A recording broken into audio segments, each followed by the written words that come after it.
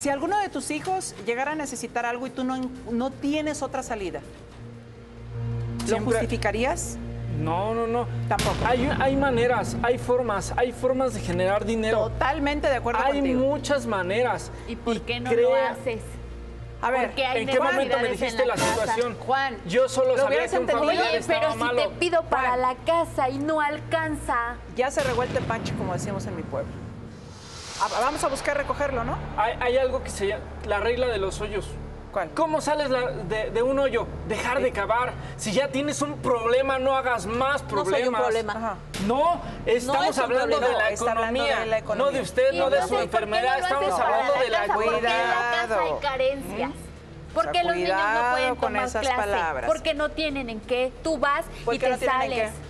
¿Quieres algo mejor? Los Vete con no uno de están esos que te paga los tanto. tres les toca clase. Y ¡Ey! él, él se lleva el celular y él... Compórtese como señora. A Por veces, lo- a veces me hace perder. No, pues no pierda. veces, no a pierda. La señora y la señora y la reina y la reina y no pierde la corona, por Dios. Pues no cabecee. Con mucho respeto, Rocío, con ¿Qué? mucho respeto, déjame decir algo. ¿Qué? Prefiero una hija bien No. ligera, bien ligera, a una agachona como la tiene él.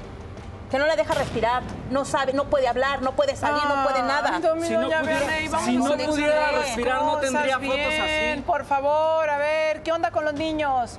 ¿Por qué no van a la escuela? Porque las clases en línea no tenemos con qué las tomen. ¿Cómo que no tienen con qué las tomen?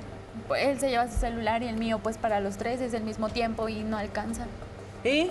Pues los ocupas para tomarte fotos. ¿Cómo vas a tener tiempo para Pero que ya tengan Para clases? la tres niños. Oye, para tres niños. Porque además, digo, si fueran triate, estamos de acuerdo, más o menos eh, tendrían las mismas clases, pero nueve, ocho y siete, pues son diferentes grados. Me imagino, quinto, cuarto y tercero, no sé. Ahora, esa es la bronca, se las vamos a quitar. Es Tres iPads para, las ni- te- para los lo niños. A ver, señores, vamos solucionando. Vamos buscando soluciones, ¿Mejor ¿sí? otra persona? Por favor. ¿Que tú que eres su padre? Es, el- mira, ¿Ahora es que esta no es la entiendes? Si lo que bronca. Ahora falta entiendes? bronca es es dinero, vete iPad. con alguien que tenga Por dinero. favor, Juan. Es No es Juan, problema. dinero, Juan, sino de que tú te pones Juan. un título que no tienes. Juan, Juan, ¿por qué no escuchas? ¿Cuántos años tienes?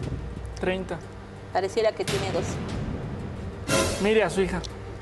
Oye, pero yo te estoy, o Mira sea, su hija. Juan, Y la pero te estoy mirando. explicando Juan, la y magnitud para de lo mí, que yo estaba lo que está. Todo lo que vine a Nunca aceptar. le sería No se infiel, puede. Pero nunca, no es eso justificable, no es No justificable. es justificable, estoy de acuerdo no es- contigo. no Hay es- maneras, somos familia, no somos una Ahora sí sola somos persona. familia. Está bien, Tan fácil te la pongo. No eres tú solita para cargar con la situación económica.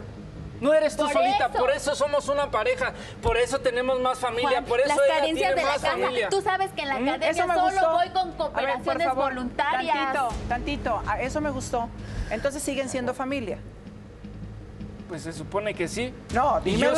¿Se se- Dímelo, Juan, ¿se supone o sí? O Pues hasta ahorita sí. Hasta ahorita sí, porque yo, yo te lo dije. ¿Cómo, cómo imagínate, cómo Déjeme voy a estar? No, cara, Ponte, pon- no. ponte un poquito en mi lugar. No. Ponte un poquito en ¿Para mi lugar. Ponte Cuando el tus mío. hijos, Ponme menos ponte mis tú en el hijos. Un coraje estén menos. en la escuela A ver, Juan. y Juan, sus papás Juan, de los Juan, niños Juan, se burlen de mí, Por favor, tus por hijos primera vez en tu vida deja de ¿Me ser puedes egoísta. ayudar dejando de discutir? ¿Sí? Este, yo, híjole, si yo viviera con ustedes ya me hubiera mudado, pero desde hace entiende ratito, por qué ¿eh? prefiero ¿O escuchaste? pedir al ojo con un familiar cuando yo soy una persona trabajadora, cuando yo soy una persona que a mí me gusta. No estoy de acuerdo con lo que hace Beatriz, porque yo la enseñé a trabajar, no a hacer Ambos tonterías. trabajamos.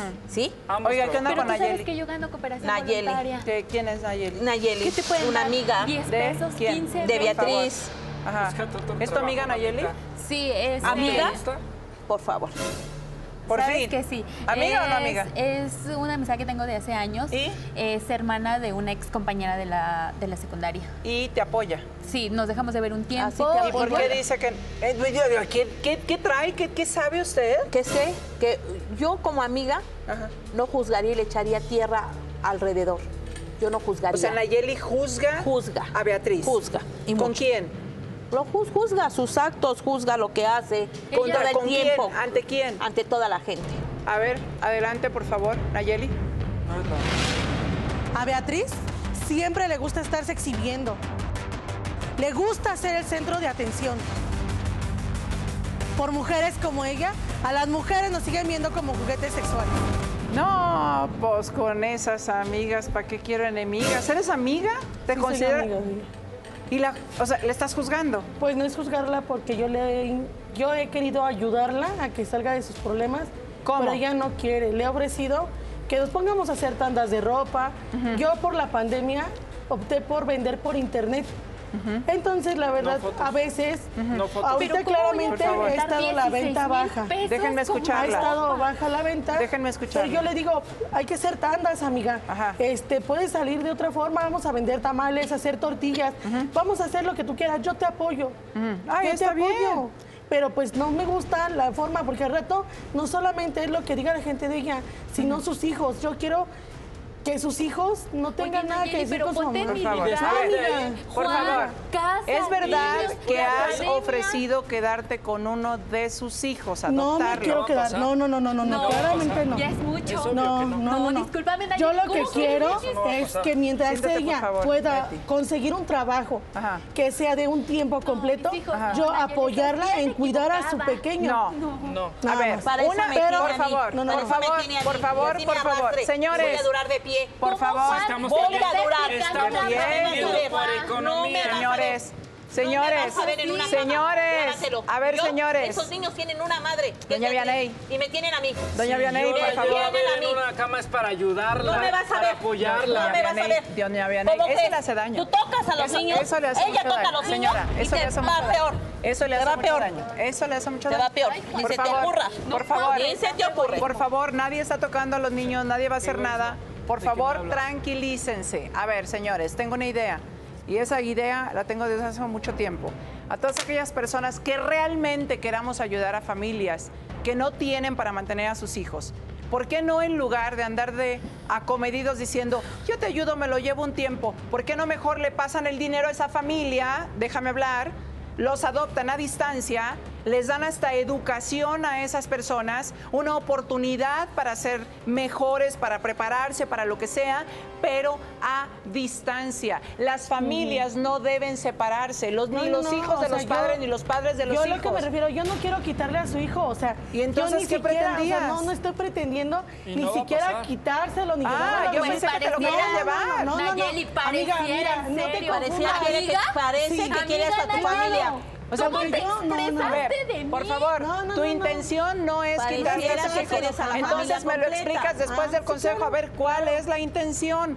Porque, Dios mío, hablamos de adopción. Adoptar en México es algo muy complicado, no entiendo por qué.